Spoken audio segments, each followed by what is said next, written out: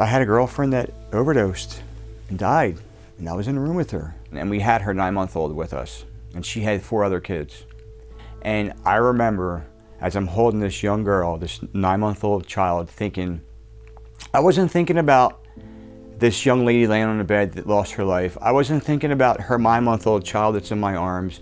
I wasn't thinking about her four children that are now motherless. I wasn't thinking about her mother that does no longer have, just lost her only daughter. I was thinking about her brother is a Port Authority cop and I'm going to jail. That, that's how I was thinking. All about me. That's how my selfishness, uh, it ruled my life. I'm a father, a brother, a veteran. I am someone you know. My name is Michael DeMeo. I am from uh, Delaware County, Pennsylvania. I was born in Drexel Hill. Good normal upbringing, hardworking father. Mom was a stay-at-home mom. In 2001, had a work injury. Fell off a ladder. And ultimately, the injury led to a knee replacement. And uh, I was prescribed OxyContin and Percocet. And from October of 2001 up until I went into treatment September of 2013, that's how long I used opiates. I continued to go to pain management, so I got prescribed these drugs, and I would sell my street, my prescription drugs, and then I'd buy heroin. I look back from from 89 to 2003, I went to 11 rehabs and 14 detoxes.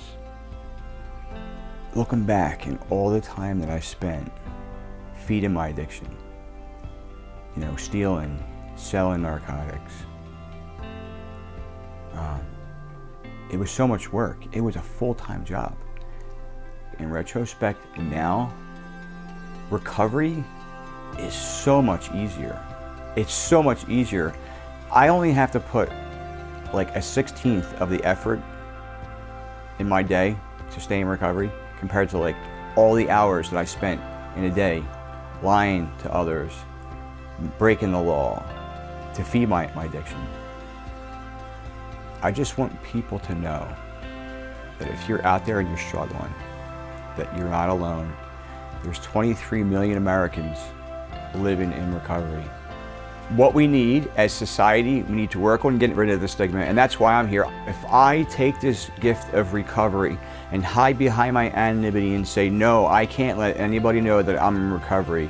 I can't let anybody know that recovery is can be amazing. You can go from having nothing to being nobody to having this rich, beautiful, educated life full of selflessness and volunteering that's why I decided to tell people, yes, I'm in recovery and I'm a father, I'm a son, I'm a student, I'm a veteran, and recovery is possible.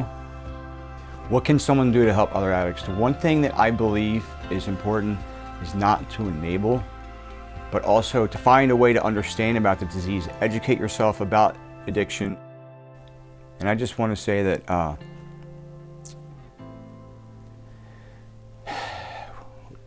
We are not bad people trying to get good.